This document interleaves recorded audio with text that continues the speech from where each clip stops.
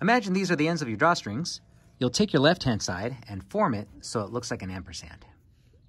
With your right-hand side, you'll form a loop, thread it through the top, go around the bottom, and pull everything tight.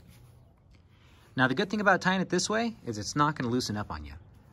But let's say your shorts are too loose. You'll tighten them up by taking this thumb loop here and gathering up this loose end, and now you can pull in more tension. When the knot resets, it'll stay tight.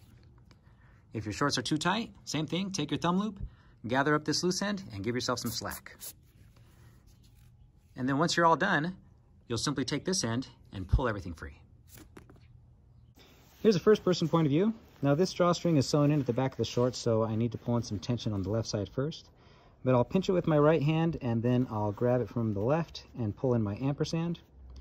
With my right hand, I'll pull in the loop, go through the bottom and then over the top, and then I'll pull it tight. Now when I want to add tension, I'll grab this loose end here and my thumb loop and pull in some tension. That's good.